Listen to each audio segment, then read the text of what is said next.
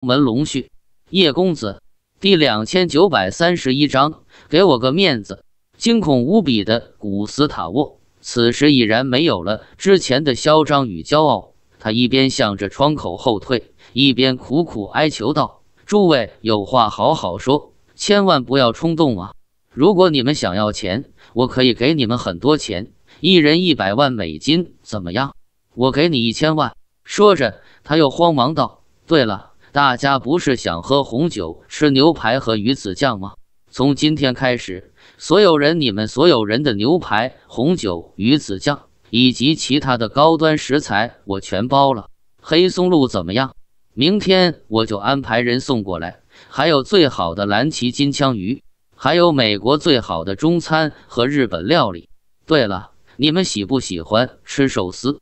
日本有个小老头做寿司做的挺好，挺出名。只要你们一句话，我让他明天就来这里，亲手给你们做寿司。他要是不来，我就杀他全家。约瑟夫讥讽道：“古斯塔沃，你在这里开空头支票有意思吗？你说给我们钱是吗？那你现在就拿出来啊！你也不要专门给我一千万，你的一千万我一分都不要。”你直接给我这些兄弟们一人两百万美金，现在就给！古斯塔沃哭丧着脸说道：“约瑟夫，我们现在是在监狱里面，我怎么可能有这么多的钱立刻拿出来给你们呢？但是只要你们给我一点时间，我一定把这些钱安排到位。”约瑟夫走到古斯塔沃面前，讥讽地笑道：“古斯塔沃，你有点搞不清楚状况。”我跟你说句实话，就算我给你时间，你也拿不出这些钱。”古斯塔沃连忙说道，“不可能，这点钱对我来说根本就不算什么。我只要给我的儿子打一个电话，最迟明天这个时候，他就能把这些钱全部安排到位，无论是现金还是转账。”约瑟夫此时转过头来，左右看了看，见狱警也没有来干涉，其他人更是不敢上前。便知道今晚就算是上帝显灵，也不可能救得了古斯塔沃。于是他对手下使了个眼色，一众人立刻将古斯塔沃那些动弹不得的手下搬了出去，丢到几十米开外。这时约瑟夫才笑着对古斯塔沃说道：“古斯塔沃，别挣扎了，实话告诉你，今天你必须死。”古斯塔沃浑身一颤，脱口道。约瑟夫，如果你杀了我，罗斯柴尔德家族不会放过你的。我的儿子以及整个桑切斯家族都不会放过你。约瑟夫哼笑一声，撇嘴道：“古斯塔沃，在你死之前，我让你死个明白。想要你命的人不是我，而是你的儿子。这不可能。”古斯塔沃毫不犹豫地驳斥道：“我的儿子绝对不会做出这种事情。”桑切斯家族的人绝不伤害亲人。约瑟夫笑道：“你儿子让我在你死之前转告你，桑切斯家族一个伟大的家族，不能因为你而美国政府以及罗斯柴尔德家族牵着鼻子走。你活着，桑切斯家族就只能受制于他们；而你死了，桑切斯家族就能够打破这个枷锁。”所以现在是你该为桑切斯家族牺牲的时候了。说着，约瑟夫反问他：“你觉得哪个国家的王储在亲爹被敌人绑走的时候，还愿意待在王储的位置上，一心一意的等他亲爹回来？那不是傻逼吗？”古斯塔沃顿时愣在当场。约瑟夫凑近，他又继续问：“古斯塔沃，难道你觉得你儿子可以？”古斯塔沃低着头不敢说话。约瑟夫见他那鸟样，嗤笑一声：“操，那你不是傻逼吗？”说话时，约瑟夫特地加重了“你”这个字的发音。对面的古斯塔沃听到这里，整个人已是骇然无比。这他妈可真是杀人诛心啊！真杀人也真诛心。他惶恐无比地看着约瑟夫，苦苦哀求道：“约瑟夫，我求求你。”看在狱友一场，给我一条生路，哪怕让我跟罗斯柴尔德家族的人通个电话，他们一定会帮我夺回桑切斯家族的掌控权。到那个时候，你要什么，我都能给你。我甚至能让你离开这个监狱。”约瑟夫笑着说道。“怎么可能呢？古斯塔沃之所以跟你说这些，是因为你今天必须得死。我要破釜沉舟，并且绝不给你任何蛊惑、收买我的机会。我的理智告诉我，如果我今天不把你干掉，你的儿子明天就会把我干掉。而且我的理智还告诉我。”就算你能离开布鲁克林监狱，并且离开美国，你的儿子也一定不会让你活着回到墨西哥。所以无论如何，你都必须的死。此时此刻，古斯塔沃的内心一片绝望。他知道约瑟夫能跟自己说这么多，就必然不会饶过自己。他等于在断自己的退路。而这两人的对话也一字不落的全部落到了叶晨的耳中。卢卡斯没有这么好的听力，他只能看着那里三层外三层的人墙，忍不住诧异地说道：“怎么感觉事情好像不太对劲？他们如果只是想教训古斯塔沃的手下，那应该已经结束了。难不成这件事情又有了什么新的变故？”叶晨随后站起身来，微笑说道：“与其在这里猜，不如直接过去看看喽。”卧槽！卢卡斯吓了一大跳，连忙要拦住叶晨，道：“兄弟，你可别去凑这个热闹。这两拨人都不是什么好货，咱们可惹不起他们。”叶晨笑道：“我又不是去看热闹的，我是去当和事佬的。你在这稍坐一下，我去去就来。”卢卡斯眼见叶晨转身就往人群走去，吓得连忙低声喊道：“兄弟，我没有要紧啊，当什么和事佬？”这种时候，谁出头谁倒霉！快回来啊！叶晨冲他微微一笑，摆了摆手，大步走了出去。此时，人群中间的古斯塔沃还在苦苦哀求约瑟夫：“你如果今天杀了我，那就是上了我儿子的贼船了。你想想，罗斯柴尔德家族怎么可能饶过你？我可是他们的人质啊！有我在。”他们在墨西哥的很多勾当就可以非常顺畅地推进下去。我要是死了，他们一定会把责任都怪到你身上。”约瑟夫笑道，“不要紧的，你死了之后，你的儿子就会立刻跟罗斯柴尔德家族重新谈判。到那个时候，他会把我保出去的。”古斯塔沃脱口道：“怎么可能呢？约瑟夫，他连他亲爹都要杀，怎么可能对你言而有信？”块头大，脑子小，你实在是太蠢了！你懂个屁！约瑟夫不屑地说道。古斯塔沃，你真当我是傻子吗？我这么多兄弟都知道，我们是受了你儿子的指示才杀你的。如果他不保我不保我们的话，那他杀你的事情就会流传出去，他自己在桑切斯家族也站不稳。至于罗斯柴尔德家族，你死了之后，他们不可能为你报仇的，因为他们这个家族几百年的宗旨就是利益至上。你死了，他们一定会第一时间跟你儿子合作，否则的话，岂不就什么都没了？你连这都想不明白，怎么能在墨西哥横行霸道这么多年？古斯塔沃此时此刻已经彻底绝望，他知道自己今天必死无疑，因为自己的儿子早就已经给自己做了一个必死的局，而约瑟夫也已经下了必须杀死自己的决心。此刻自己身边没有一个人能保护自己，自己除了死，已经没有其他可能了。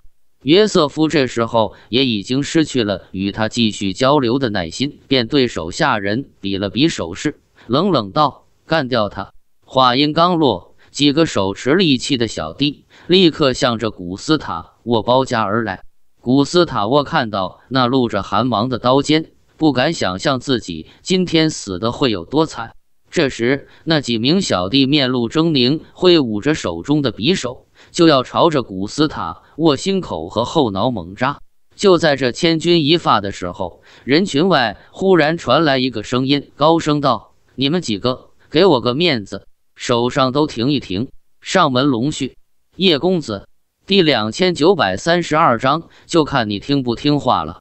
人群外忽如其来的一嗓子，让所有人都下意识的回头看去。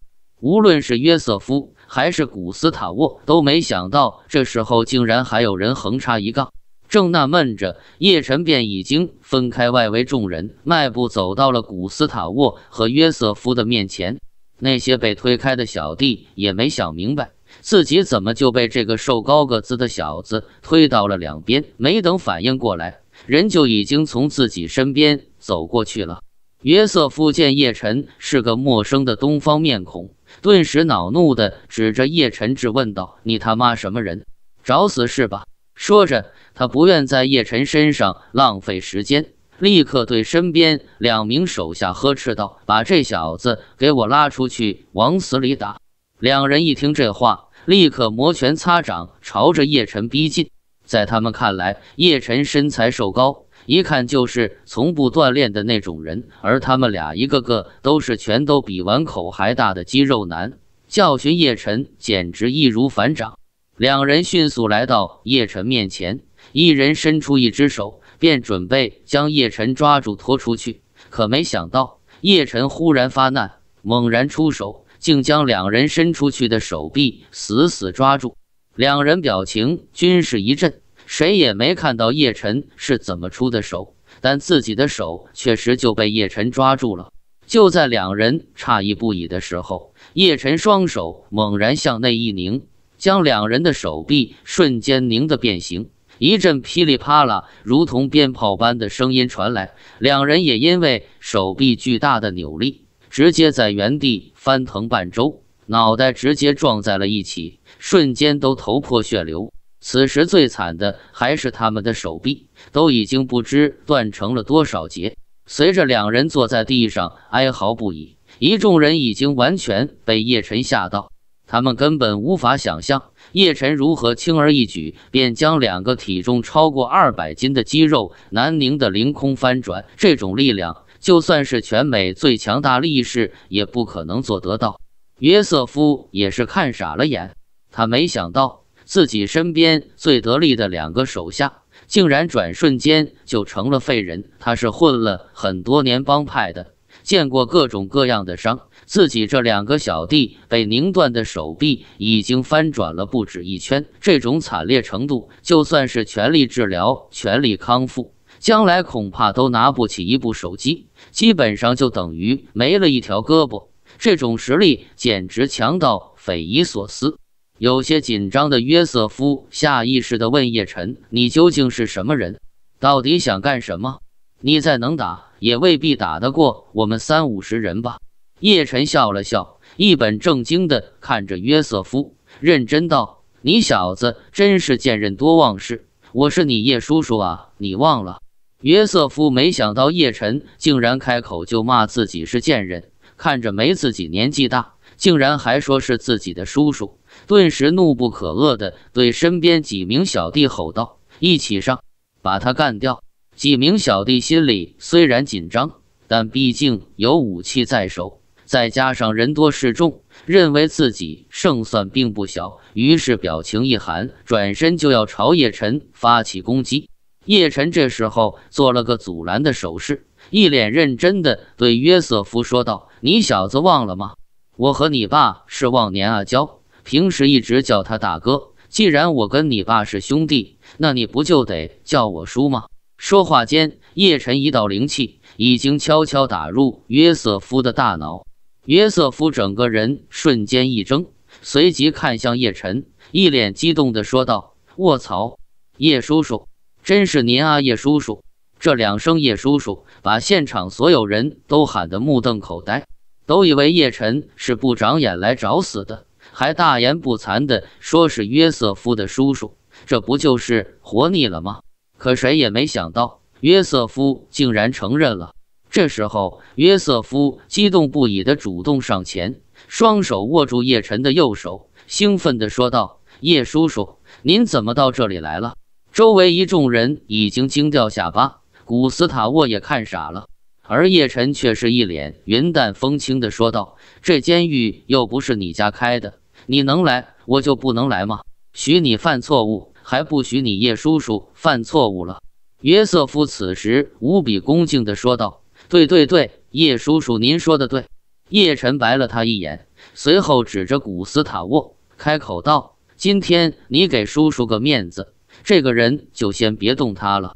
约瑟夫没有半点犹豫，不假思索地说道：“行，既然叶叔叔您都说话了，那我肯定不能再动他。”说罢，他看向古斯塔沃，一脸严肃地说道：“古斯塔沃，你他妈今天是走大运了！要不是我叶叔叔出来帮你说话，我肯定让我的兄弟们把你扎成马蜂窝。”古斯塔沃也没搞明白这到底什么情况，但听到约瑟夫的话，他心里又止不住涌上一股劫后余生的庆幸，联想到自己差点被儿子暗中做掉，眼泪便控制不住的夺眶而出。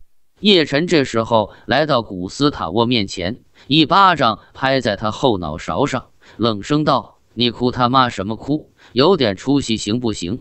古斯塔沃没想到叶晨竟然抬手就打自己，心里第一反应是怒不可遏。可一想到是眼前这人帮自己拦住了约瑟夫，于是便只能忍气吞声，故作感激地说道：“先生，谢谢你救了我，我一定会报答你的。”报答我？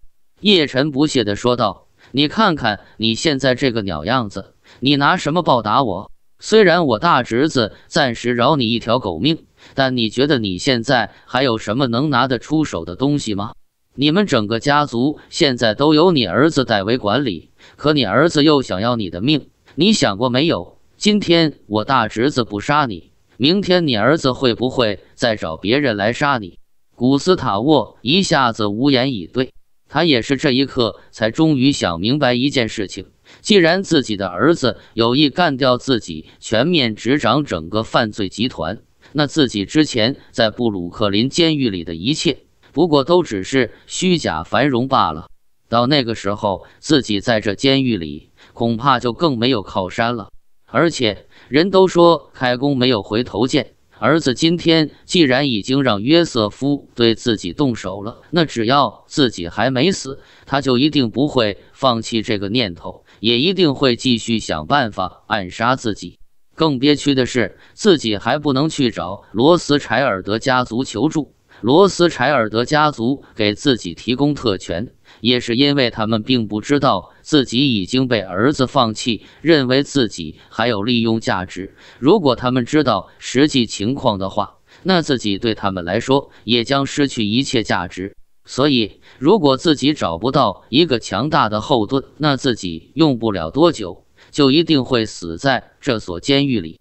眼下的叶晨就是自己的救命稻草，于是他连忙哀求叶晨先生：“求您给我指一条明路，只要我能度过眼前的劫难，我愿拿出一亿美金作为酬谢。”叶晨不屑地说道：“得了吧，你眼下能把命保住，都全是拜我所赐。下一顿饭别说喝红酒吃牛排。”你他妈能不能活到那时候还是个未知数。都这样了，你心里还幻想着重新夺回你们桑切斯家族吗？你别忘了，你被美国人判了终身监禁，这辈子都出不去了。古斯塔沃无助地问：“那那我现在应该怎么办？”叶晨淡淡道：“跟着我，以后我罩着你。你去跟狱警说一声，从今天起搬到我的牢房，跟我一起住。”我来保护你的安全。古斯塔沃不知道叶晨为什么明知道自己翻身无望，却还愿意帮自己。想来想去，他心里不禁暗存：莫非这个人是个基佬？一定是这样，不然他为什么帮我？为什么愿意罩着我，还让我搬去他的牢房跟他一起住？可是，可是他看上我什么了？毕竟我都一把年纪了。这时，叶晨见古斯塔沃半晌不说话，便冷声道：“我警告你，我可不是白帮你的。我帮了你，你就一切都要听我指挥。我让你做什么，你就要做什么，否则我就直接告诉我大侄子，你的死活我不管了。听懂了吗？”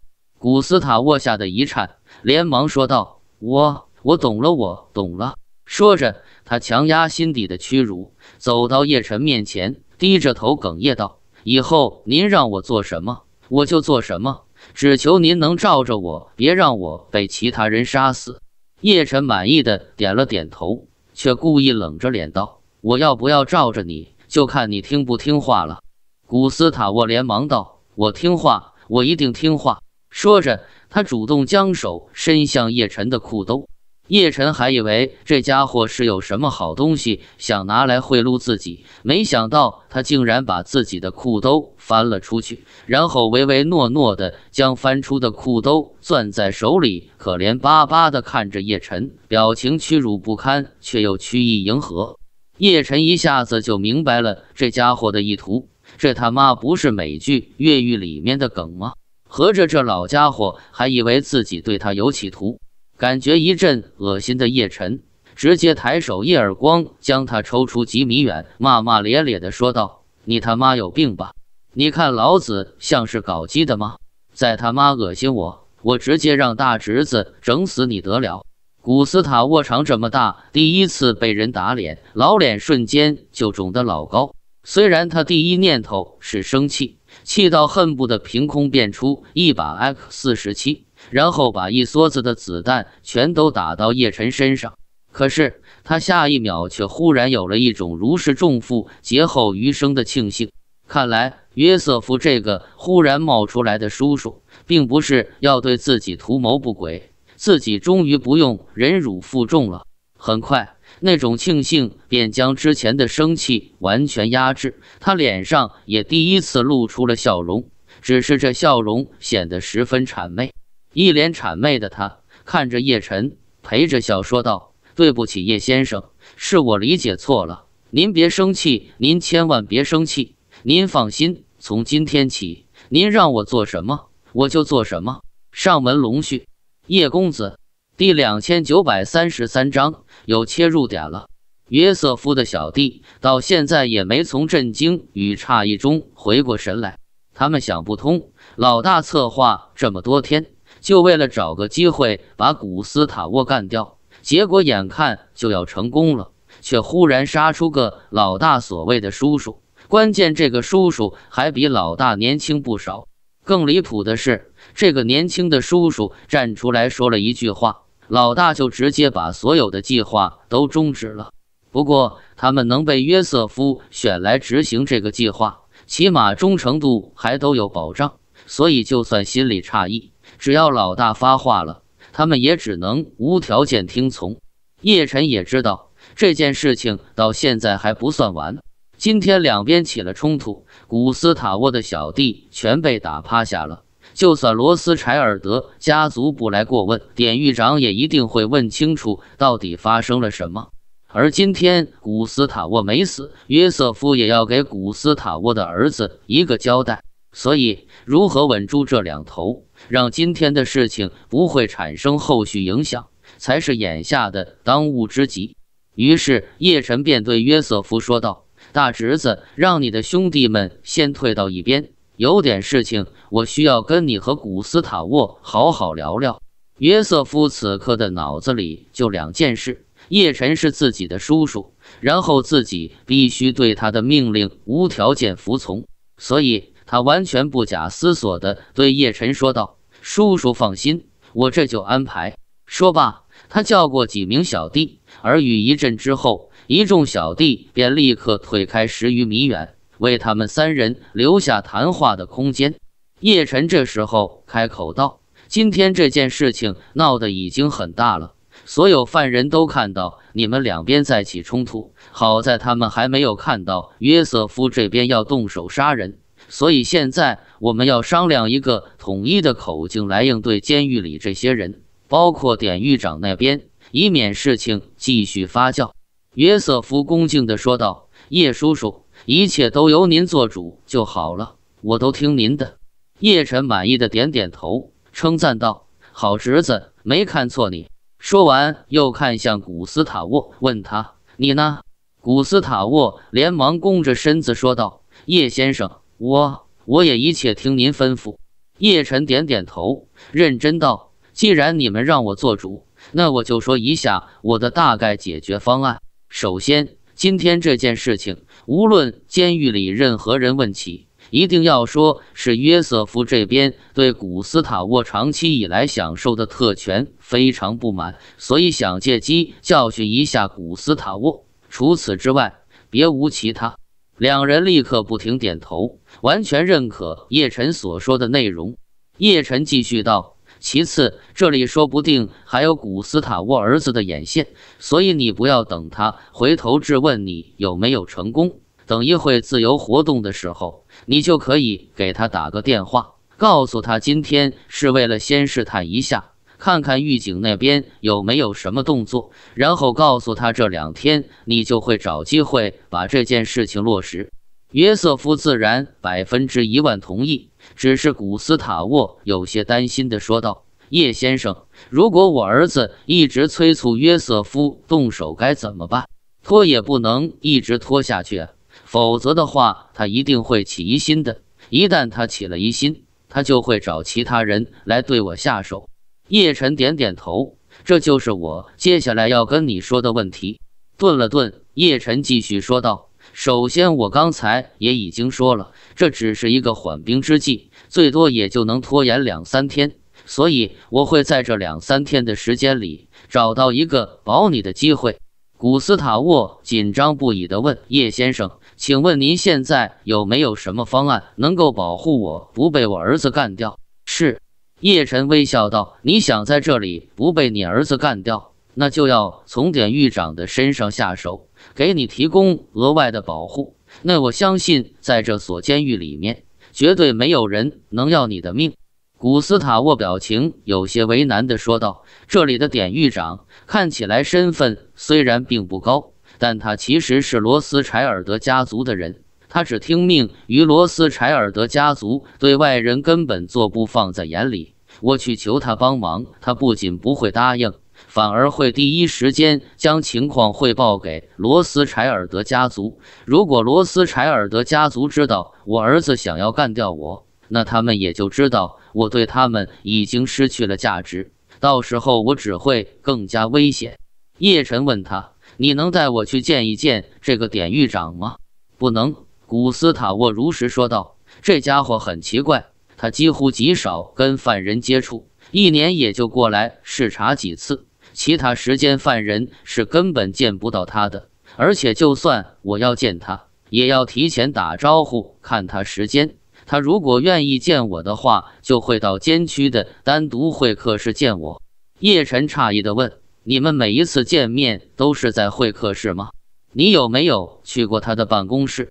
没有，叶晨又问：“那你能去他的办公室跟他见面吗？”不能。古斯塔沃摇头道：“这里的管理还是非常严格的，我到现在都不知道他们内部的办公区都是什么样子。”叶晨好奇地问道：“我听别人说你在这里自由度很高，甚至经常能够溜出去过夜。你有这么高的自由度，难道连他们的内部办公区都没去过吗？”古斯塔沃道：“虽然我偶尔确实能够悄悄离开监区出去放松一下，但是他也跟我约法三章，每一次出去都必须先谎称身体患病，然后医生会给我开一个留置观察的证明。等到晚上熄灯之后，我的人会把暂时替代我的人送过来，由他代替我在医务室过夜。”而我则由典狱长安排的狱警蒙面带出去，每一次都非常谨慎。叶晨咂了咂嘴，继续问他：“这个典狱长的情况，你能给我介绍一下吗？姓谁名谁？什么来头？多大岁数？有哪些癖好？等等。”古斯塔沃点点头，说道：“这里的典狱长名叫布鲁斯·维恩斯坦，今年四十三岁。”叶晨皱了皱眉：“维恩斯坦。”这个姓氏好像并不多见，古斯塔沃道：“确实不太多见，是个犹太姓氏。布鲁斯·维恩斯坦不太出名，但是他一位远房的叔叔，您应该听说过，就是好莱坞那个大名鼎鼎恶棍。”叶晨恍然大悟：“哦，我知道了，就是那个侵犯了上百名女明星的好莱坞恶棍。”对，古斯塔沃点头道：“布鲁斯和他那个远房叔叔差不多。”都热衷玩女人，除了赚钱之外，最大的爱好就是女人。叶晨轻轻点了点头，笑道：“喜欢玩女人，那就有切入点了。”说着，叶晨又问他：“你跟这个布鲁斯之间有没有什么利益输送？”古斯塔沃道：“明面上没有什么利益输送，毕竟他是罗斯柴尔德家族的人，也不敢太过嚣张。不过暗地里，我确实让人在外面给他安排了一些美女，他每一次也都不拒绝。叶晨点头道：“既然这样，那你就想办法跟他约个见面机会，越快越好，而且一定得带着我去见他。”古斯塔沃问叶先生：“那我该怎么向他介绍您呢？”叶晨道：“这个简单。”你就说以前跟我在墨西哥有过一段交情，没想到我因为非法移民被抓了进来，所以你想让他在监狱里多照顾照顾我。说着，叶晨又道：“你也别让他白白搭个人情，赶紧给他安排几个美女，越漂亮越好。今天晚上就好好伺候伺候他。”古斯塔沃点点头：“行，我来安排。”说着，他从口袋里掏出一部手机。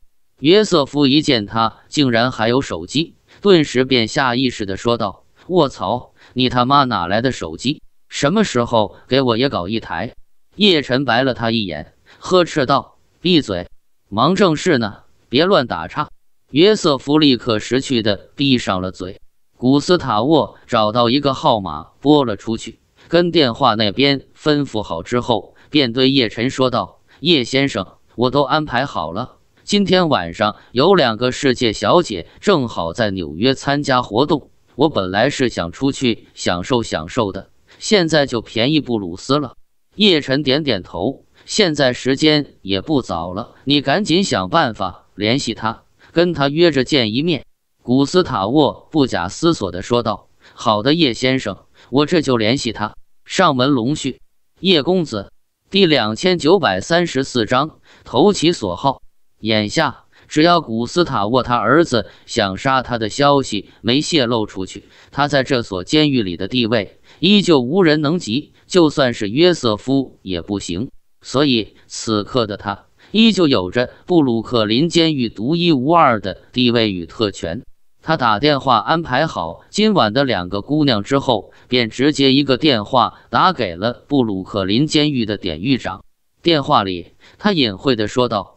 布鲁斯，今晚有一批新货到案，不知道你有没有安排？如果没有的话，可以帮我去验一验货。典狱长一听这话，顿时兴奋地说道：“我今晚没什么安排。桑切斯先生，您真有好货要到案吗？”典狱长虽然是罗斯柴尔德家族的人，但实际上他对罗斯柴尔德家族来说，也就是个外姓家奴，一个外姓家奴。而且又只是担任典狱长的职位，由此也能看得出，他其实享受不到太过上层的奢靡生活。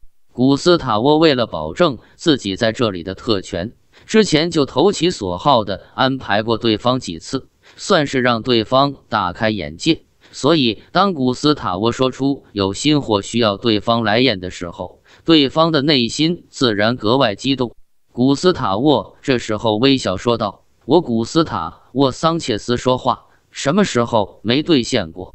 对方立刻恭敬地说道：“是是是，您说的对。”古斯塔沃也是时机地说道：“不过我们稍后最好能见一面。我有个朋友也进来了，我想让你们认识一下，你以后也能帮我多照顾照顾他。”不过对方也不是傻子，听说古斯塔沃要给自己安排两个美女。而且还是世界小姐，他便知道古斯塔沃一定有事情要自己去办。在听闻只是如此简单的举手之劳之后，对方几乎不加任何思索的便爽快答应下来，笑着说道：“这种事情对我来说再简单不过了。桑切斯先生，稍等一下，我这就让人安排好会客室，然后请您和您的朋友一起到会客室，我们见上一面。”古斯塔沃松了口气，开口道：“没问题，那我等你的消息。”古斯塔沃挂了电话，约瑟夫一脸呆滞地看着他以及他手里的苹果手机，又一次嘟囔道：“我不管，古斯塔沃，你一定要给我搞一台手机。”约瑟夫虽然潜意识里被叶晨下了心理暗示，认为叶晨就是自己失散已久的叔叔。但是他大部分情况下还能够维持自己大部分的正常思维。对手机期待已久的他，此时此刻脑子里想要个手机的强烈意愿也已经挥之不去。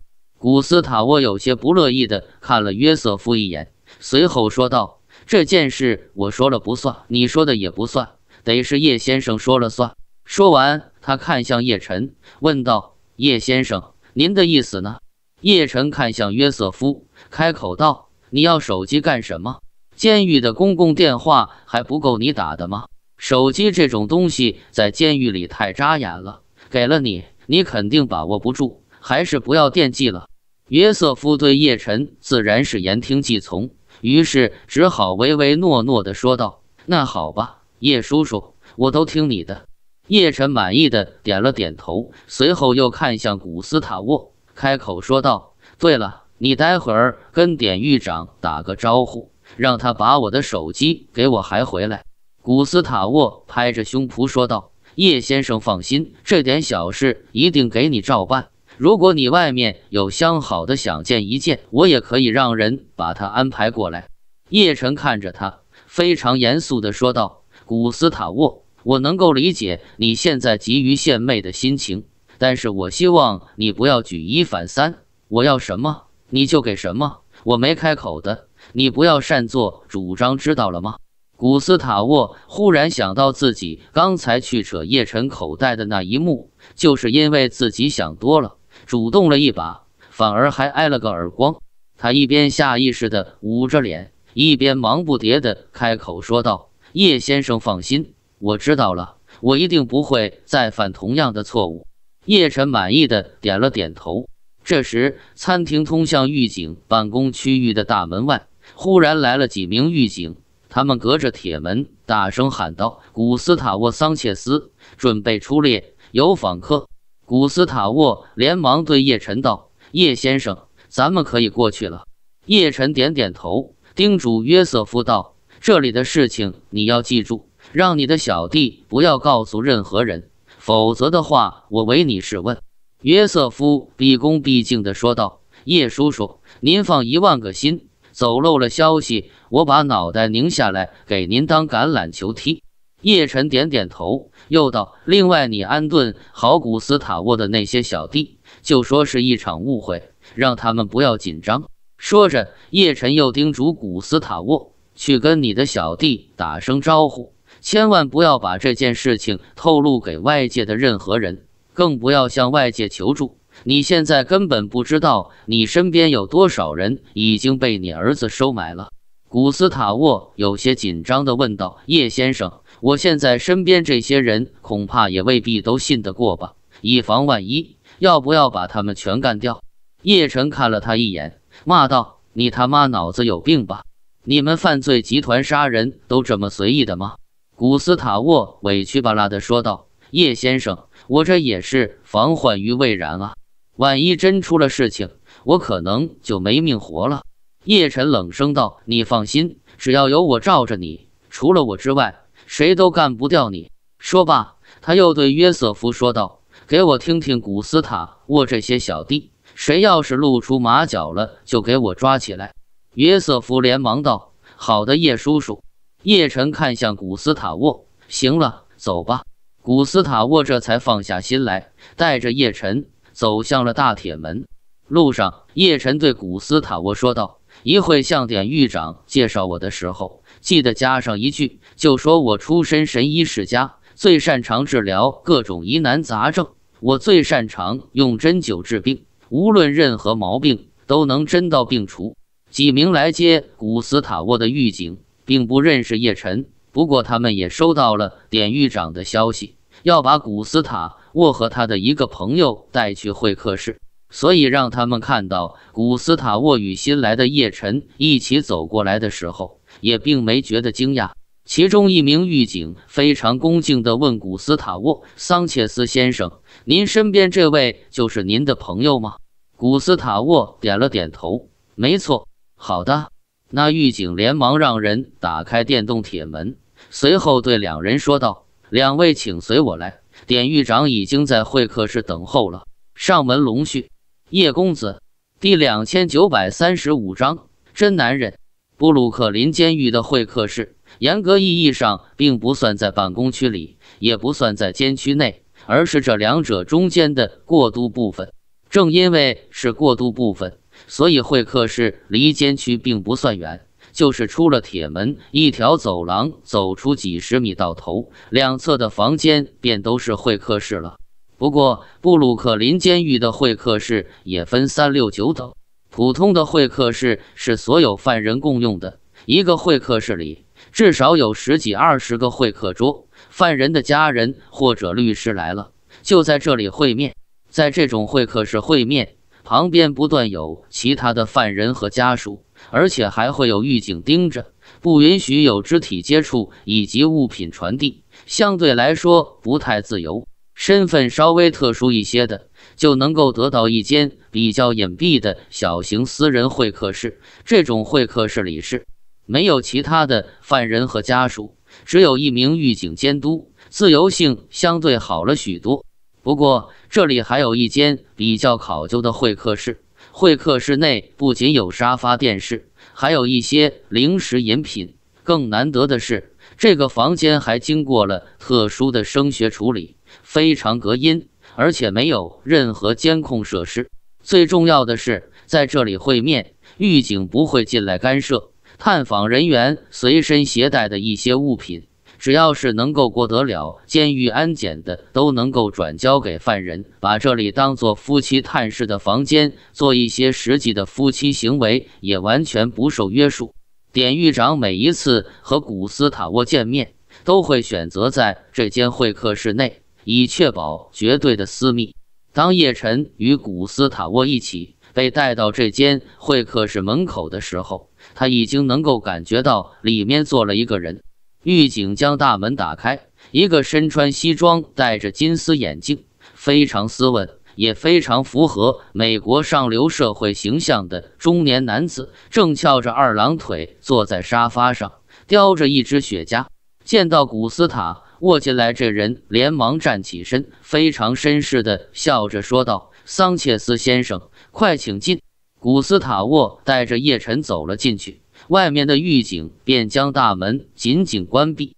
这时候，布鲁斯·维恩斯坦看向古斯塔沃身边的叶晨，微笑道：“这想必就是桑切斯先生的朋友了吧？”“你好，我叫布鲁斯·维恩斯坦，是布鲁克林监狱的典狱长。”叶晨也同样还以微笑，开口道：“典狱长先生，你好，我是桑切斯先生的老朋友，我姓叶。”这次是因为非法移民被关到这里来的，以后还请你多多关照。”布鲁斯·维恩斯坦笑着说道，“非法移民不是什么大事，想来叶先生不会在我们这里待上太久。不过你放心，既然叶先生是桑切斯先生的朋友，那么只要你在这里待一天，都是我们布鲁克林监狱的贵宾。我一定会交代下面的人，给叶先生充分的照顾。”如果叶先生有什么需求的话，也可以向我提出来。古斯塔沃这时候开口道：“不瞒你说，布鲁斯，但叶先生过来见你，就是让你们认识一下将来叶先生。如果有什么需要的话，你这里也一定要给他足够的方便。”布鲁斯·维恩斯坦笑道：“这种小事，桑切斯先生你打个招呼就可以了，又何必屈尊过来跟我见面呢？”古斯塔沃笑道：“交朋友嘛，当然得先见面了。”说着，他又对布鲁斯·维恩斯坦说道：“对了，布鲁斯，我这位好朋友是一个非常了不起的神医，他擅长治疗任何疾病，无论你身体有任何问题，他都可以帮到你。”布鲁斯·维恩斯坦看着叶晨，哼笑一声，没看出来叶先生这么年轻，竟然还是一位神医。不知道叶先生是哪家医学院毕业的？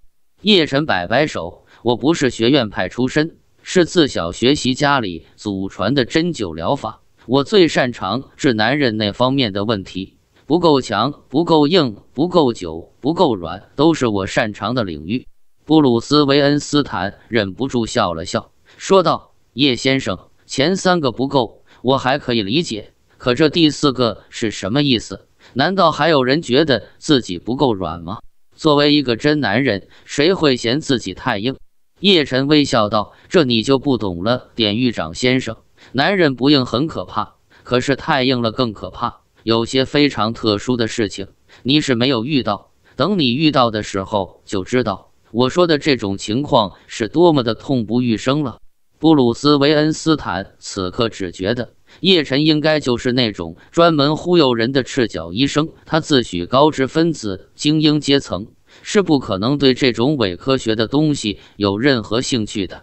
于是他便笑着敷衍道：“那我只能希望我永远也不会遇到这种诡异的情况，否则还要麻烦叶先生来帮我治疗。”叶晨也笑呵呵的点头说道：“是，我也希望你永远不要遇到。但如果真不幸遇到了，那恐怕就只有我能治了。”古斯塔沃见两人都聊到了男性那方面的能力问题，于是便挑了挑眉，对布鲁斯·维恩斯坦说道：“对了，布鲁斯，今晚我给你安排的这两位美女都是非常漂亮的拉丁美洲角色，两人的身高都在五点八英尺以上，你放眼看去，除了腿就是胸，非常完美。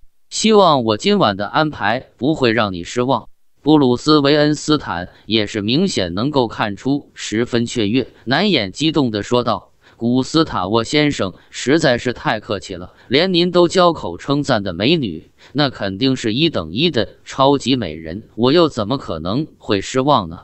说不定这会是我这辈子最幸福的一个晚上。”两个视女如命的男人相视一笑，一切尽在不言中。叶晨这时候却悄悄向着布鲁斯·维恩斯坦的体内渡入一道灵气。这道灵气并不是为了洗他的脑，也不是为了给他任何心理暗示，更不是让他阳痿。相反，叶晨的这一道灵气，在他办那种事的时候，会给他超乎寻常的强大助力。如果把男人那方面的能力比作蹬自行车，就算他能力再强，也不可能把自行车蹬出摩托车的动力来。甚至有时候蹬不动了，还要偷摸的吃上两粒药，那感觉就像是职业车手在比赛时往自己的自行车里悄悄塞一个微型电动马达来作弊一样，有效但不多。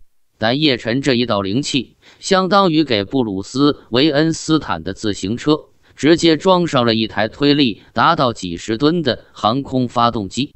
平时蹬自行车，如果蹬不动，大不了就摆烂不蹬了，虽然丢人，但不会死人。可一旦这辆自行车被巨大的推力推到极速，并且还停不下来，那虽然不丢人，但可就真的会死人了。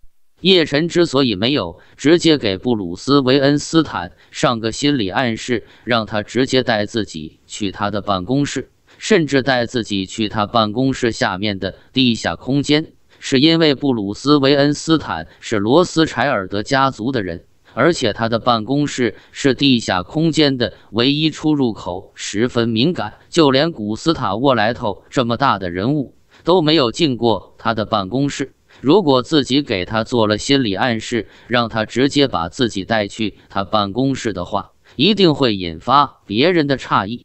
叶晨最不想的就是引起别人关注，尤其是罗斯柴尔德家族的关注。所以在叶晨看来，最好的办法就是先让这个布鲁斯·维恩斯坦这个真男人产生极大的难言之隐，让他在走投无路的情况下。主动想办法，尽可能低调的跟自己见面，向自己求助。那样一来，布鲁斯·维恩斯坦自己就会提前做好一切规避工作，到时候自己再与他见面，就不会有任何被别人关注的风险了。既然布鲁斯·维恩斯坦今晚要蹬这趟自行车，那只要他蹬出第一脚去，就等于为自己给他留的那台航空发动机按下了启动按钮。到那时，他走投无路，一定回来求自己。上门龙婿叶公子，第两千九百三十六章，只有两个阶级。一阵寒暄过后，泡妞心切的布鲁斯·维恩斯坦便明显已经有些按耐不住，似乎想要尽早结束这场会面。于是叶晨便对一旁的古斯塔沃说道：“我们也不要在这里耽误典狱长的宝贵时间了。”让典狱长安排一下换牢房以及手机的事情，就可以回去了。古斯塔沃急忙压低声音对叶晨说道：“叶先生，不如搬去我的牢房住吧。我的牢房条件是整个布鲁克林监狱最好的，而且还有电视和 WiFi。”叶晨摆摆手：“我费了挺大功夫才把我们牢房的规矩立起来，怎么能说走就走？”要是瞧不上我的牢房，那就在你自己的牢房里好好待着吧。古斯塔沃一听这话，连忙摆手说道：“咱这样，那我就还是去叶先生您的牢房吧。”对古斯塔沃来说，现在最怕的就是儿子找其他人来干掉自己。叶晨有着非同常人的超强实力，而且约瑟夫又对他言听计从，自己只要跟在他身边。那布鲁克林监狱，相信就没有人能伤害到自己了。至于居住条件，这些都是小事儿，命都快没了，条件算个屁。随后，古斯塔沃怕叶晨反悔，连忙对布鲁斯·维恩斯坦说道：“布鲁斯，还得辛苦你安排一下，我想暂时搬到叶先生他们的牢房里住几天。另外，叶先生的手机，你安排人给送过来吧。”布鲁斯·维恩斯坦毫不犹豫地答应下来，脱口道：“这太简单了，我这就帮你安排。不知道桑切斯先生还有其他的事情需要我效劳的吗？”古斯塔沃摆了摆手，一脸暧昧地说道：“时间不早了，你还是抓紧时间出发吧，不要让美人们等得太久。我的人会把位置和房间号告诉你，今天晚上你就尽情享受。”什么事情，咱们明天再聊。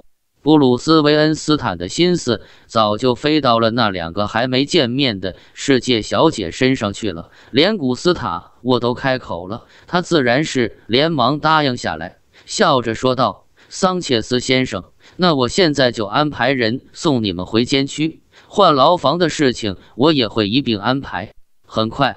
一名狱警便将叶晨的手机以及充电器拿了过来，随后便带着叶晨与古斯塔沃从会客室离开，送他们回到监区。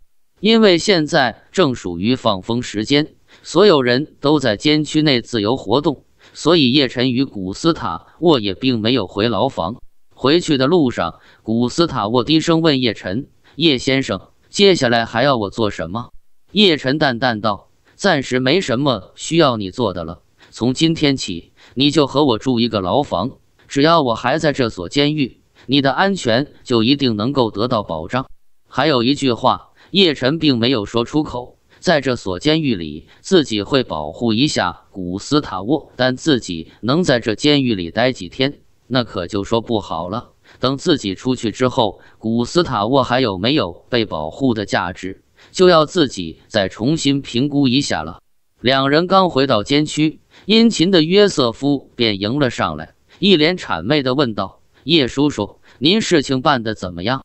叶晨一脸威严地说道：“约瑟夫，长辈的事情，你这个晚辈不要随便过问，知道了吗？”约瑟夫连忙惭愧不已地说道：“叶叔叔，您说的对，是我多嘴了。”这时，万事通卢卡斯鼓起勇气来到叶晨身边，开口问道：“先生，您您这边一切还好吧？”之前，叶晨忽然掺和进古斯塔沃与约瑟夫的事情，卢卡斯心中虽然担心，可也不敢上前问个究竟。眼看叶晨刚才与古斯塔沃一起走了，然后又一起回来。似乎不像是有什么矛盾和危险，于是便鼓起勇气上前询问。叶晨觉得他还算机灵，便笑着说道：“卢卡斯，从今天开始，古斯塔沃就要搬到我的牢房去了。你有没有兴趣一块儿搬过来？”卢卡斯听得震惊不已，他想不明白，大名鼎鼎的古斯塔沃为什么会主动搬到叶晨的牢房。毕竟，古斯塔沃现在居住的牢房条件，在整个监狱那都是拔尖的，只有傻子才会放弃那么好的条件，住到普通的牢房里去。不过，面对叶晨的邀请，他还是非常激动的，爽快答应下来，连声道：“先生瞧得起我，那我就搬去跟先生一起住。”在卢卡斯看来，古斯塔沃这种大人物是自己平时想接触都接触不到的。眼下有这么一个机会跟他住在同一间牢房里，说不定也是一个人生的机遇。更何况叶晨这个东方面孔的年轻人也给了他很大的神秘感。他隐隐觉得叶晨的来头肯定非常大，甚至大到自己猜都猜不出来。能跟叶晨拉近关系，那就更好不过了。叶晨眼睛在附近的人群中搜寻一番，很快便看到了那个正在一小撮人群里悄悄看向自己的同牢房狱友迪恩。自打叶晨主动去找约瑟夫和古斯塔沃，迪恩就一直悄悄关注着叶城这边的一举一动。眼见他跟第一监区以及第二监区的老大聊得有说有笑，甚至两人对他还有些唯唯诺诺的样子。迪恩心中更是震惊不已，同时也对自己今天作死的行为越来越感到后怕。他不禁在心中战战兢兢地暗存：“他妈的，人家都说老虎的屁股摸不得，我他妈不过就是区区一条泰迪狗，真是瞎了狗眼，竟然还想玩老虎的屁股！姓叶的今天没把我脑袋拧下来塞进马桶，都他妈是上帝保佑了。”说着。他不禁闭上眼睛，在眉间到胸前以及左肩到右肩划了一个十字，口中虔诚地说道：“上帝保佑，阿门。”叶晨见他闭眼祷告，便高声喝道：“迪恩，你给我过来！”迪恩浑身一颤，顾不得继续祷告，连忙一路快跑来叶晨面前，恭敬地问道：“叶先生，您有什么吩咐？”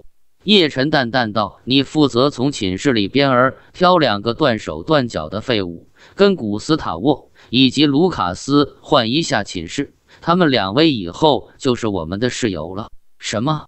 迪恩吓得一激灵，闪电般偷看了古斯塔沃一眼，随后紧张地问：“叶叶先生，您说的都是真的？”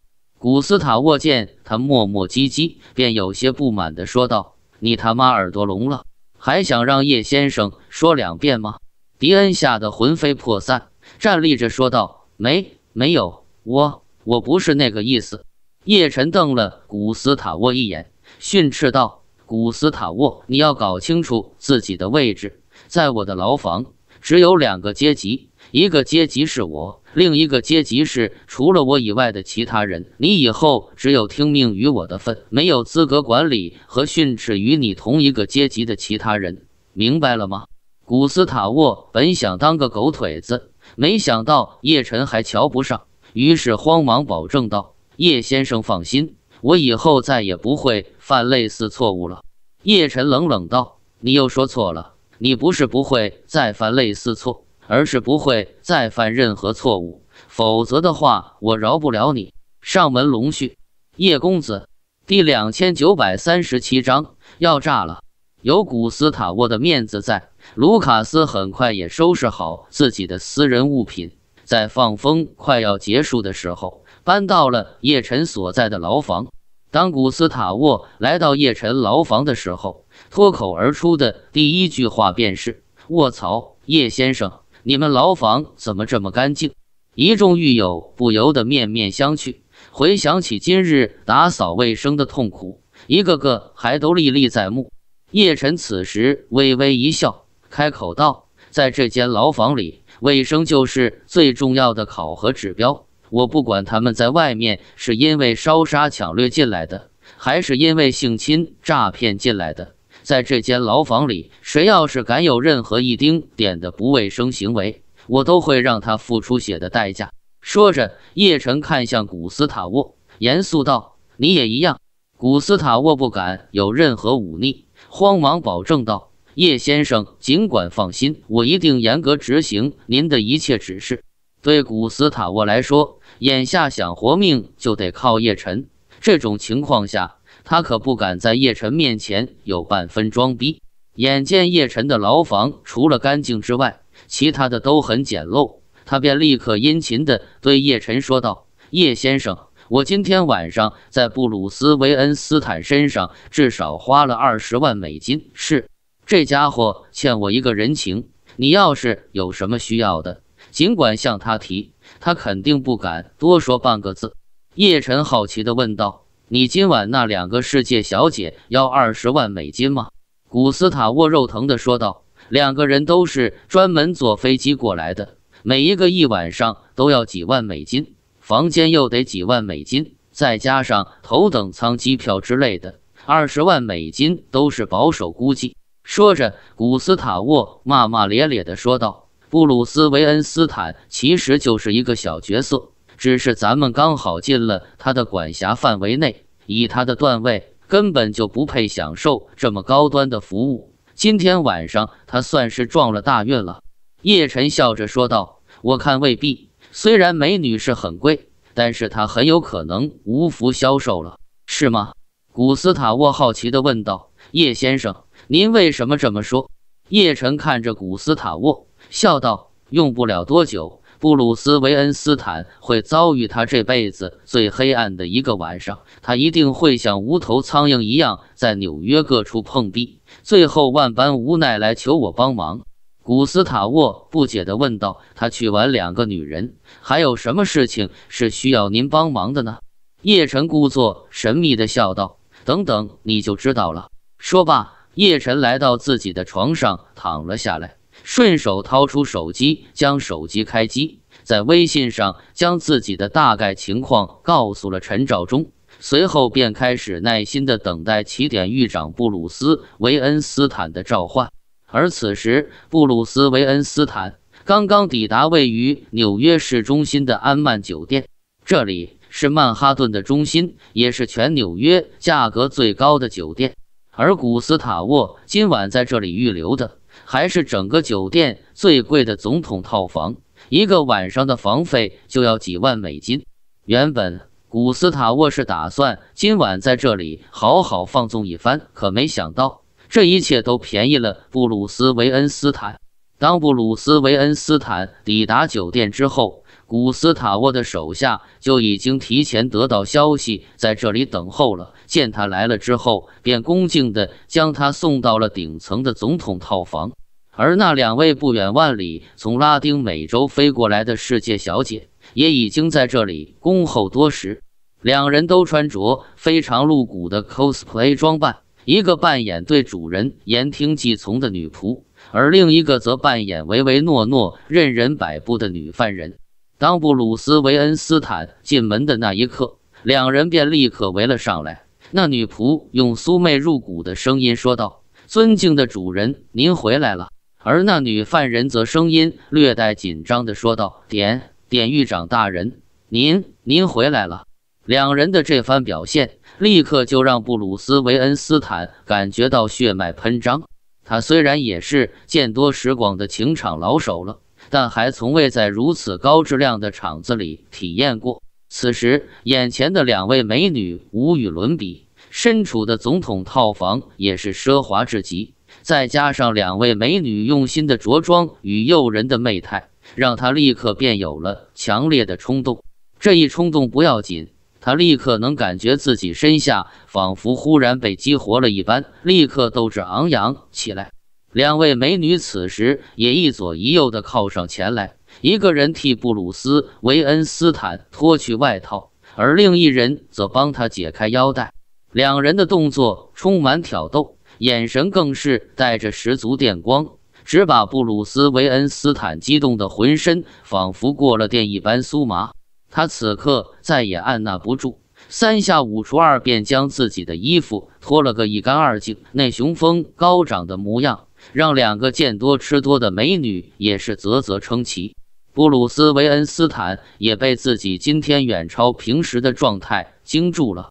人说最熟悉一个人的只有他自己，布鲁斯·维恩斯坦也不例外。他很清楚的知道自己的短板在哪里。主要就是年纪稍微有点大了，那方面的能力大打折扣，就像是一台有些年头的老爷车，也不是不能发动，只是发动起来比较麻烦。老化的启动电机带着已经松弛的皮带，要费点功夫才能打着火，而且也不是打着火之后就能立刻踩油门加速。冷车启动的时候，还需要先停在原地，慢慢维持发动机的运转。等到水温慢慢上来，机油也润滑开了之后，才能够真正挂档启动。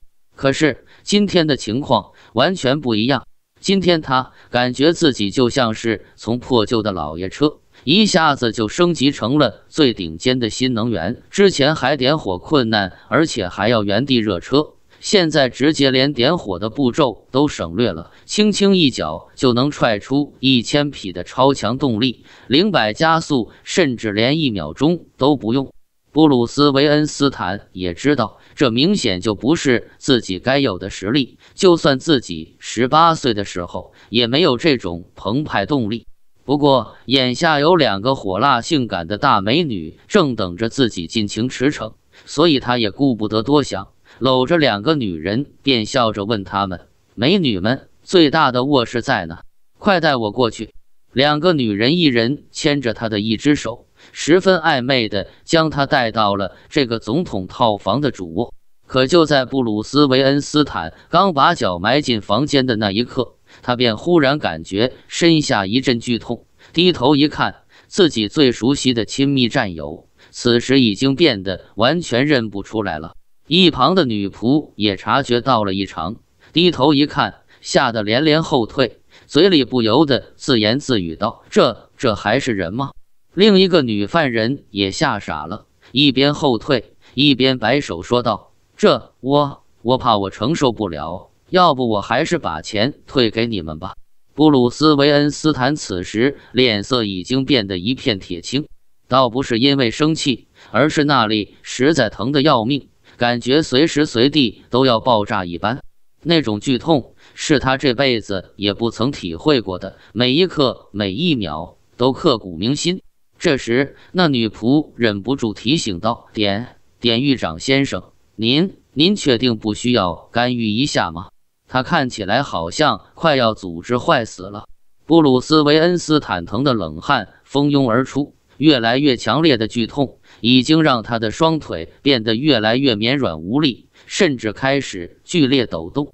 他绝望地捂住身下，痛苦地哀嚎道：“快快帮我，我快疼死了！”他。他要炸了！两个女人也是吓得不轻，心理素质较差的女犯人紧张不已的对那女仆说道：“卡米拉，我们快走吧，万一出什么事情，把警察吸引过来，我们就完蛋了。”名叫卡米拉的女仆也瞬间回过神来，慌不择路的就要逃走。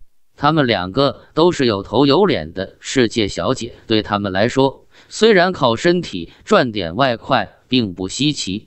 可是这种事情绝对不能曝光出去，否则自己的形象将大受影响，前途也将彻底被毁。所以，眼看布鲁斯·韦恩斯坦的情况如此诡异，两人真怕闹出人命，一发不可收拾，所以下意识都想着赶紧离开这里。布鲁斯·韦恩斯坦此时已经疼得快要昏厥过去，他躺在地上，一边打滚。一边拼尽全力对两人吼道：“你们两个婊子，不要忘了，你们是古斯塔沃花钱请来的。古斯塔沃什么来头，你们肯定非常清楚。而我是古斯塔沃的贵客，如果我在这里出了问题，你们俩一个都活不了。”布鲁斯·维恩斯坦的话顿时把两个刚才还想要逃走的女人吓得站在原地，恐惧的连连尖叫。古斯塔沃的残暴。他们早就有所耳闻，一想到他们原本是来伺候古斯塔沃，临时又被交代要伺候古斯塔沃的朋友，两人心里便顿时惶恐无比。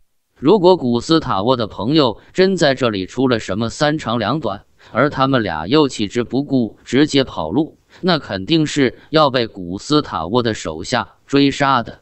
两人都意识到了这一点。那个名叫卡米拉的女仆强迫自己冷静下来，问布鲁斯·韦恩斯坦：“我我该怎么帮你？”布鲁斯·韦恩斯坦也不知道现在对方有什么办法帮自己，他只能下意识地喊道：“快帮我找一些冰块，越多越好。”上门龙婿，叶公子，第两千九百三十八章，真的没救了。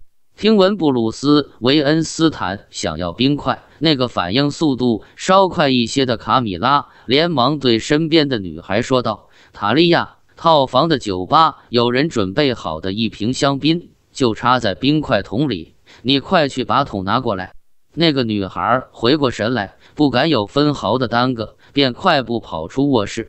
一阵叮叮哐哐的声音传来之后，那女孩便提着一个装满了冰块儿的铁桶跑了过来。卡米拉赶紧从她的手中接过铁桶，蹲下来递到布鲁斯·维恩斯坦的当前。布鲁斯·维恩斯坦原本还想直接塞进去。但奈何情况实在不允许，于是便只能将冰块一股脑的都倒在了两腿之间。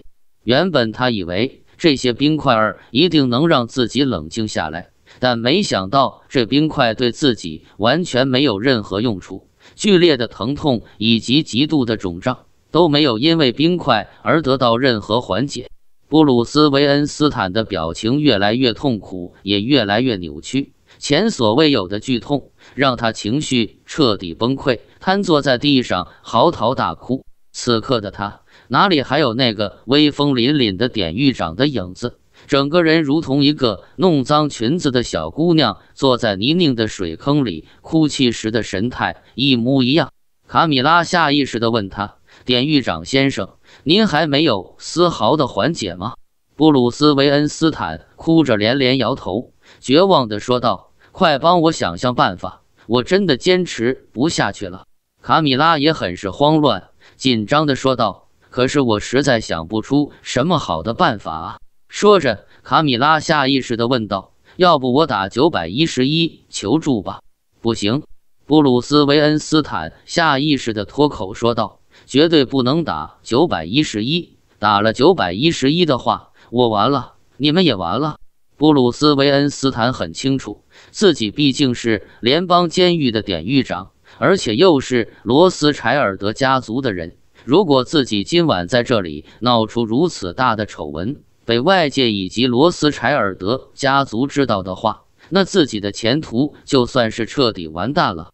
民众绝对不会允许一个试图搞双飞却差点搞炸自己的男人继续担任联邦监狱的典狱长。而罗斯柴尔德家族也一定不会再继续信任并且重用自己，必然会将自己抛弃。思前想后，他只能强忍着剧痛，开口道：“去，去我的口袋里拿我的手机，我要打电话找人来帮忙。”好，卡米拉一听他说要找人帮忙，便稍稍松了口气，连忙去将他的手机取了回来。而此时，布鲁斯·维恩斯坦想到的求助对象也并不是今天刚刚认识的叶晨，而是他一个在附近医院做主治医师的朋友。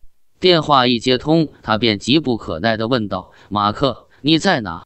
电话里传来一个中年男人的声音：“我在医院值班，怎么了？”布鲁斯·维恩斯坦连忙道：“我现在出现了非常严重的状况。”可能只有你能救我的命了，马克诧异地问道：“布鲁斯，你怎么了？难道受伤了吗？”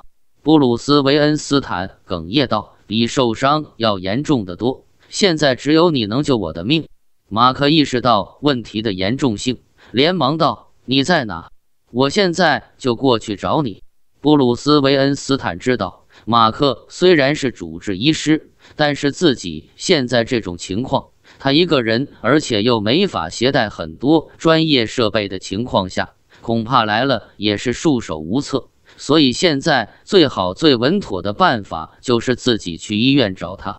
于是他便叮嘱道：“马克，你仔细听我说，我需要你现在就去准备一间完全隐私的治疗室，千万千万不能让除了你之外的第二个医生接触到我。你现在就准备。”我也现在赶过去找你，马克连忙问：“那你先告诉我大概的情况，我这边也好有针对性的做些准备，以免耽误时间。”布鲁斯·维恩斯坦表情挣扎了片刻，还是鼓起勇气说道：“是我的小老弟，他他比平时大了至少两三倍，或许我感觉他就快要不行了。” Holy shit！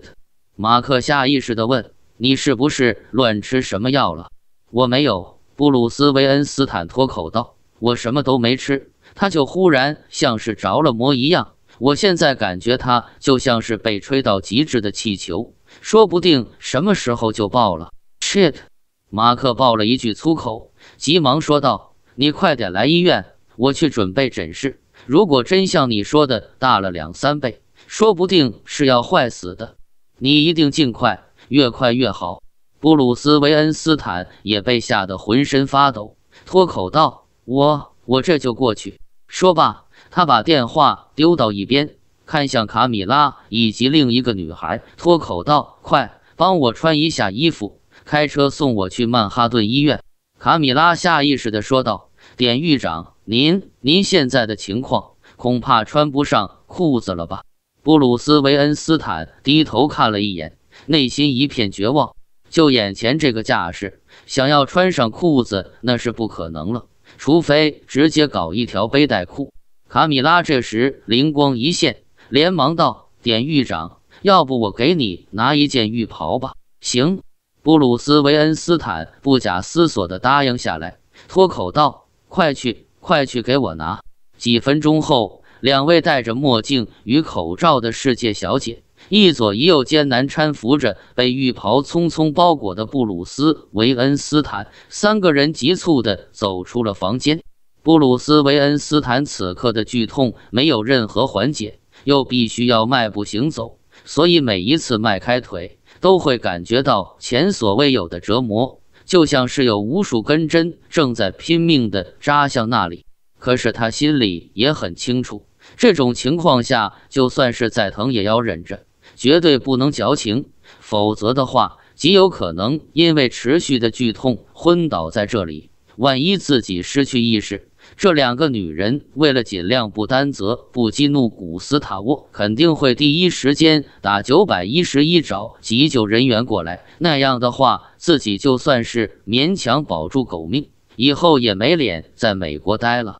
此刻的布鲁斯·韦恩斯坦。爆发出了前所未有的强大意志力，强忍着要命的剧痛，与两名世界小姐一起来到了地下车库。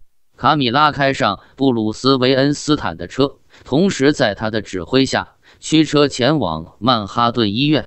十几分钟之后，汽车终于在曼哈顿医院门口停了下来，而布鲁斯·韦恩斯坦的好朋友马克此时也已经做好了准备。一个人推着轮椅在门口等候，眼见布鲁斯·韦恩斯坦的车开了过来，他急忙推着轮椅跑过去将车门打开。此刻的布鲁斯·韦恩斯坦蜷缩在副驾驶上，整个人已经疼得剧烈抽搐和干呕。马克没想到情况竟然这么严重，连忙将他从副驾驶抱了出来。隔着浴袍，他看到布鲁斯·韦恩斯坦那里的轮廓。瞬间惊得目瞪口呆，他下意识地问布鲁斯：“你确定这不是恶作剧？”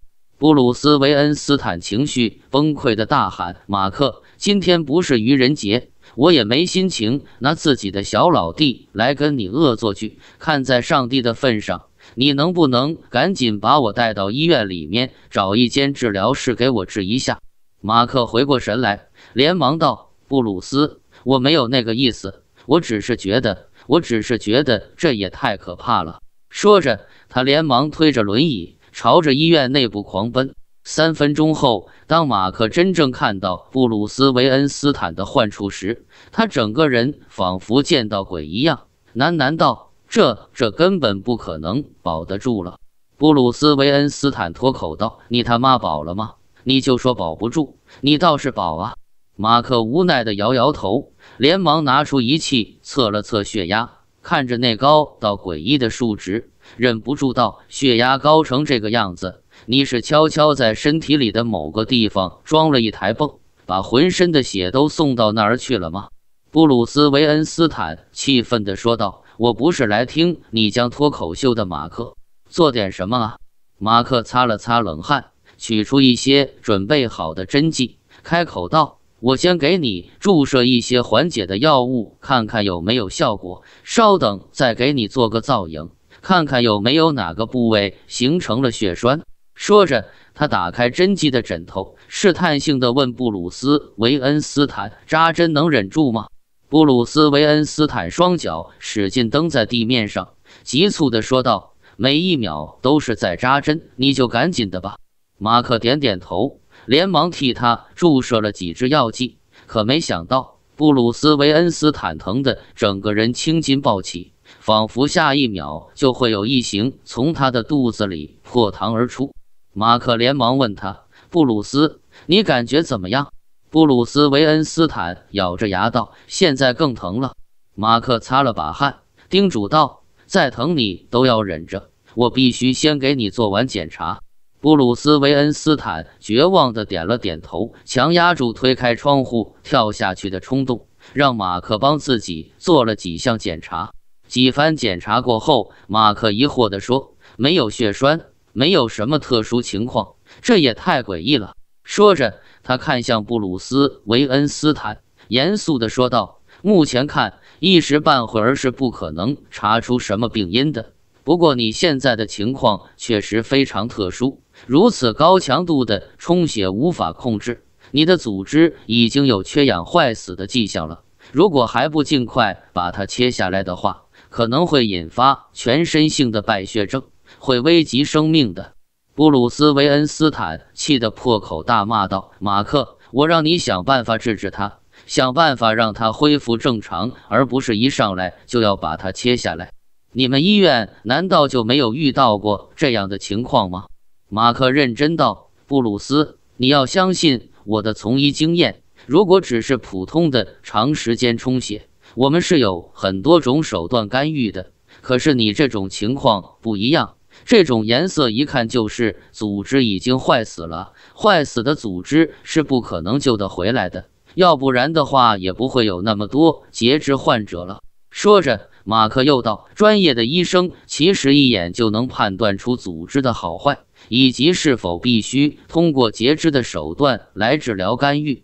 很多病人因为不愿意接受需要截肢的现实，所以在我们最开始给出截肢建议的时候。”他们一般都不相信，很多人甚至会拖着残肢游走于各大医院之间，试图寻找一个奇迹。但这种情况下，几乎百分之九十的病人在坚持到最后时，都只能接受截肢。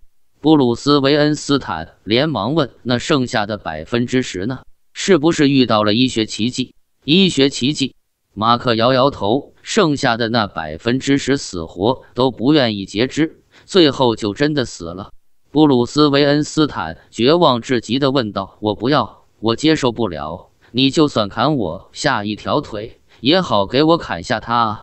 马克无奈道：“就目前的情况，我确实没有其他好的办法了。要不我联系一下相关方面的专家。”说着，马克又提醒道：“不过我要提前跟你说清楚，现在的时间，绝大多数的专家都已经下班回家了。”就算我能找到一个愿意来帮你治疗的人，他赶来的速度也不会太快。所以你介意让我拍一段视频吗？让他们通过视频来帮你会诊。布鲁斯·维恩斯坦捂住脸，脱口道：“快点拍，拍的越仔细越好。”马克赶紧掏出手机，拍了一段视频，发给自己认识的相关领域专家。很快，他便陆续收到了这些专家的回复。无一例外，每一个专家都回复了相同的两部分内容。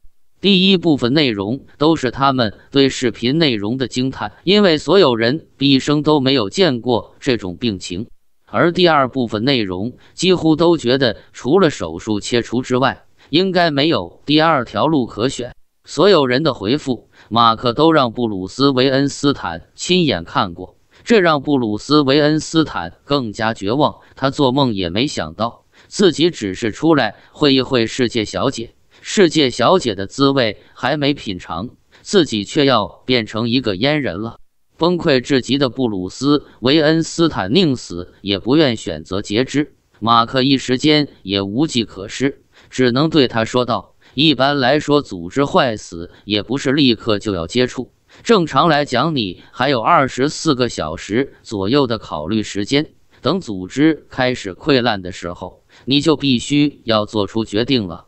不过，我可以负责任的告诉你，真的没救了。说着，他由衷的感叹道：“以前总是觉着男人一定要硬，可今天看来，硬可不是一件好事。”布鲁斯·韦恩斯坦脑子里忽然想到今天叶晨跟自己说的那番话，他也说过，男人不硬很可怕，可是太硬了更可怕。这时，布鲁斯·韦恩斯坦眼前一亮，仿佛抓到了救命稻草一般，低语道：“那个姓叶的说的都是真的，难道他有办法治？”上门龙婿，叶公子，第两千九百三十九章，请你无论如何都要救救我。当古斯塔沃用毒枭的残存威严换来叶晨旁边那张床铺，并且迫不及待想跟叶晨套套近乎的时候，他口袋里的手机忽然嗡嗡震了起来。他连忙将手机掏出，低头一看，打来电话的竟然是典狱长布鲁斯·维恩斯坦。古斯塔沃有些诧异，他的第一念头是：他妈的，布鲁斯·维恩斯坦这种狗屁小角色。也敢直接给老子打电话，真他妈以为自己是个人物了？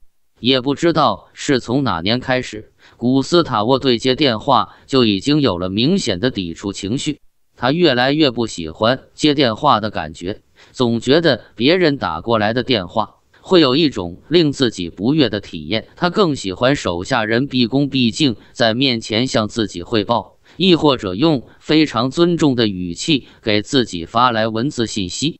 当然，到发号施令的时候，他还是更喜欢打电话，因为他喜欢那种直接输出的快感。古斯塔沃身边的人都知道他不喜欢接电话，所以一般情况下，有时都是先发信息，而且必须以尊敬的桑切斯先生作为开头，像布鲁斯·维恩斯坦这样。直接一个电话打过来的情况，他已经好几年都没有遇到过了。要是在今天之前，古斯塔沃接到他的电话，一定会直接挂断。但今天差点被约瑟夫干掉的事情，让他心里有了几分对周遭的忌惮和对未知的恐惧。于是思前想后，还是按下了接听键。不过，古斯塔沃语气明显有些不悦，质问道：“布鲁斯。”我应该跟你说过，平时不要给我打电话，有什么事不能先发个信息。”布鲁斯·维恩斯坦痛苦地说道。“桑切斯先生，请问今天那位叶先生在你身边吗？我有要紧的事情需要找他帮忙。”叶先生，古斯塔沃诧异地问道：“你找叶先生做什么？”隔壁床的叶晨听到这话，从床上坐了起来，对古斯塔沃说道：“来，电话给我。”古斯塔沃恭敬地将电话递给叶晨，叶晨拿过电话，笑呵呵地问道：“典狱长先生，找我有事？”布鲁斯·维恩斯坦着急忙慌地问道：“叶先生，你今天说的那个男人太硬了，更可怕的事情，你以前遇到过吗？”叶晨知道他现在肯定快疼死了，却不紧不慢地说道：“当然遇到过，不过你不是不相信吗？”怎么又关心起这件事了？我信，我信。布鲁斯·维恩斯坦忙不迭地说道：“叶先生，今天今天白天我确实有点太自以为是了，还以为你跟我说的都是危言耸听。等事情真正发生在自己身上，我才知道自己有多无知。”说着，他声泪俱下的哀求道：“叶先生，请你无论如何都要救救我啊！你如果不救我的话……”我可能真的要完蛋了，叶晨故作惊讶地问道：“具体怎么了？你慢慢说说。”布鲁斯·维恩斯坦抽泣着说道：“实不相瞒，叶先生，今晚桑切斯先生给我安排了两位美女，可是我不知道是太激动了，还是身体出了什么毛病，那地方一下子就肿胀的受不了，就像是他妈的吞了一万颗万艾可一样。现在情况越来越严重。”曼哈顿医院的医生说，组织已经要坏死，只能截肢了。不知道你有没有办法救我？叶晨笑了笑，看来事情已经向着自己规划的方向发展了。随即，他便开口道：“这个嘛，救倒是能救，不过需要用针灸来进行治疗。我现在人在监狱，心有余而力不足啊。”布鲁斯·维恩斯坦连忙道：“这不要紧，只要你有办法救我。”我现在就回监狱去，我可以在监狱里接受你的治疗。叶晨嗯了一声，道：“只是这种治疗比较麻烦，时间也比较长，而且需要你光着身子。更重要的是，治疗过程中肯定会伴随一定的疼痛，你肯定会控制不住大喊大叫。你就不怕被监狱里的其他人知道吗？布鲁斯·维恩斯坦连忙道：“这个简单，我让我最信得过的手下把你从牢房里带出来，然后悄悄带到我的办公室去。我在办公室等你，那里隔音密封非常好，绝对能够保密。”由于自身情况实在太过羞于启齿，布鲁斯·韦恩斯坦的潜意识里就是希望尽可能的保守这个秘密。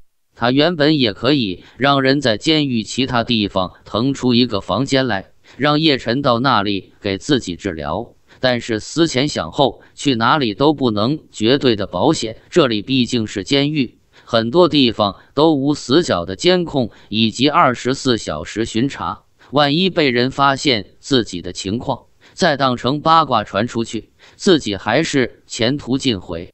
而整个监狱里，他觉得最安全的地方就是他的办公室了。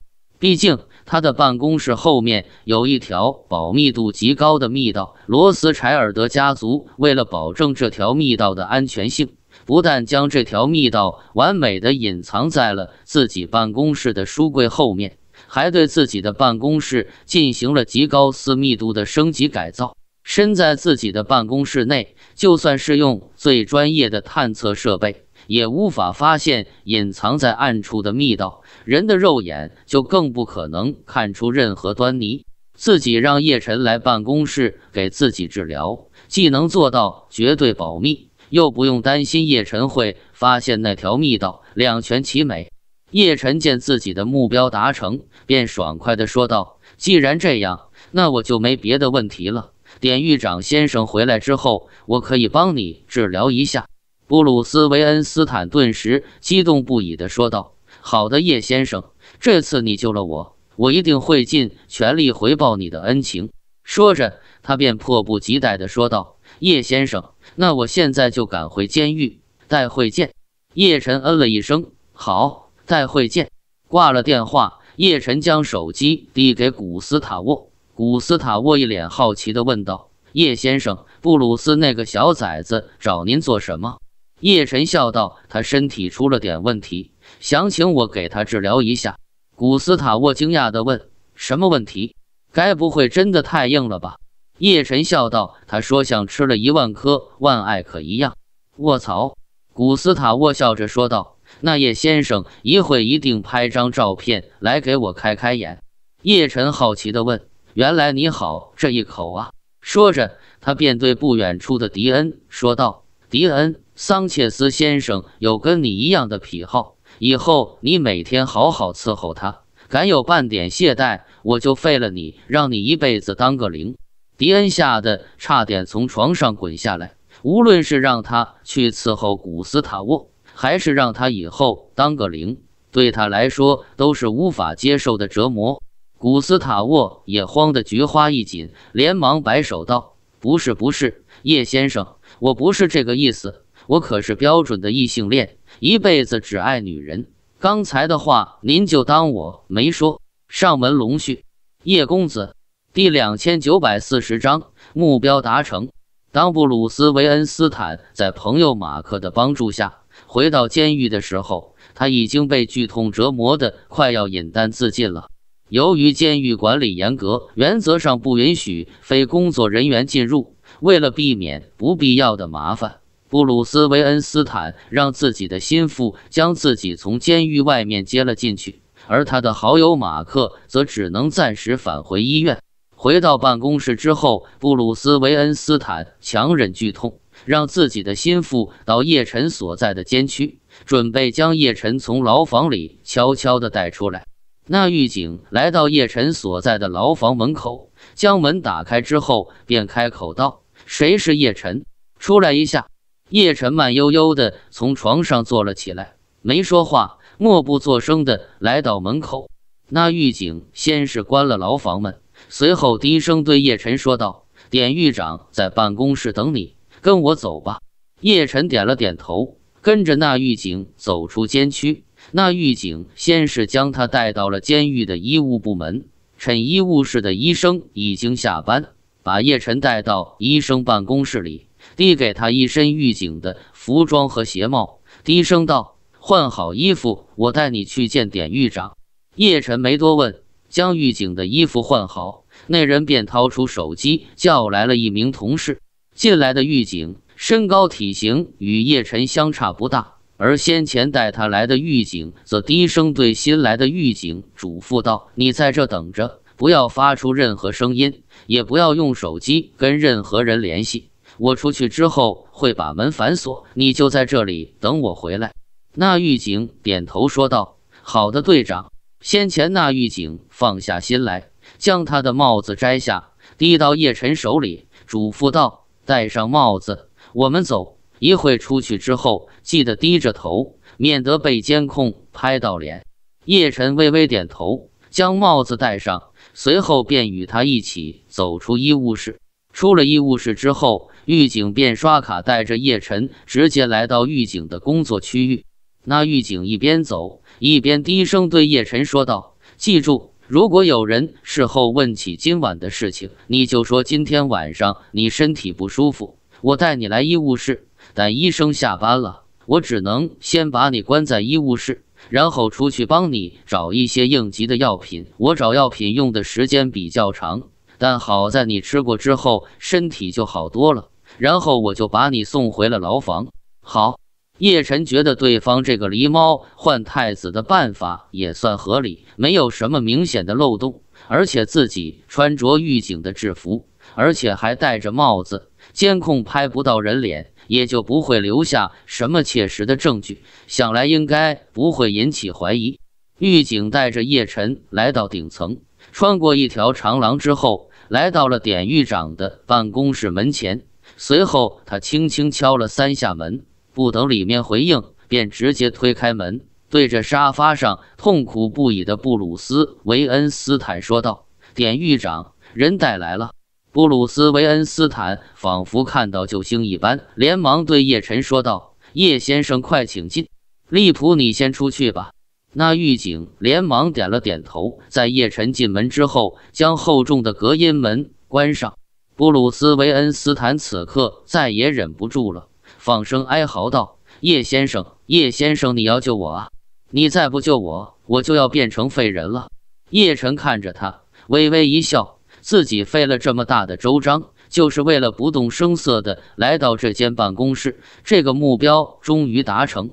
于是他便看着布鲁斯·温恩斯坦，冷冷道：“别急，你的小老弟虽然很疼，但一时半会还坏不了。”布鲁斯·维恩斯坦下意识的说道：“怎么会？我做医生的朋友说他已经要完蛋了。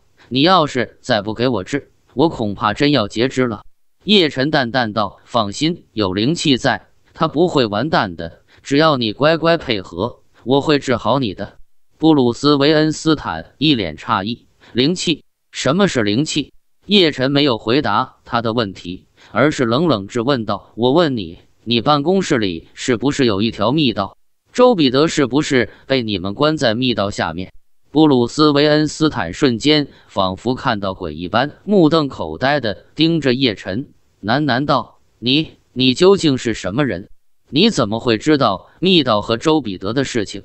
叶晨微笑道：“我就是为了周彼得才来的。”说着，叶晨一道灵气打入他的大脑，用毋庸置疑的口吻命令道：“回答我刚才的问题。”布鲁斯·维恩斯坦浑身一颤。大脑瞬间将叶晨视作唯命是从的对象，连忙说道：“我办公室后面确实有一条密道，是一个电梯井。电梯井下面有一间秘密牢房，周彼得就关在那里。”叶晨又问：“下面除了周彼得，还有谁？”“没了。”布鲁斯·维恩斯坦如实道：“下面只有他一个人，被关在一个完全封闭的房间里。”我每天会给他送一次食物或水。叶晨继续问道：“罗斯柴尔德家族为什么要把他关在这里？”布鲁斯·维恩斯坦道：“是因为他偷了罗斯柴尔德家族的东西。”偷东西？叶晨皱眉问道：“是什么东西？”我也不知道。布鲁斯·维恩斯坦解释道：“我只知道那东西对罗斯柴尔德家族非常重要，但那个周彼得就是死活也不说出实情。前段时间，罗斯柴尔德家族的人每天都来这里审问他，但一直问不出有价值的消息，就让我暂时好好看管他。叶晨冷声问道：“你能带我下去吗？”“能。”布鲁斯·维恩斯坦毫不迟疑地点了点头。叶晨又问：“如果我下午……”罗斯柴尔德家族会知道吗？不会，布鲁斯·维恩斯坦道：“这里是我负责，一切情况由我向罗斯柴尔德家族汇报。他们没有直接监控这里。”叶晨放下心来，命令道：“现在就带我下去。”布鲁斯·维恩斯坦恭敬地说了一声“遵命”，于是便来到自己办公室的书柜面前。他从书柜里拿出一本《约翰福音》，随后将自己的手掌完全盖在那本书的封面上。神奇的事情立刻发生：那本书在扫描他的掌纹与指纹之后，立刻发出“滴”的一声。紧接着，一处空着的书架背后的背板忽然打开。露出一组摄像头，布鲁斯·维恩斯坦走上前去，瞪大眼睛，紧盯着摄像头。紧接着，其中一组书架立刻缓缓打开，露出一道金属的电梯门。等书架伪装的大门打开超过四十五度之后，金属电梯门也自动打开，里面是一部狭小的小型电梯。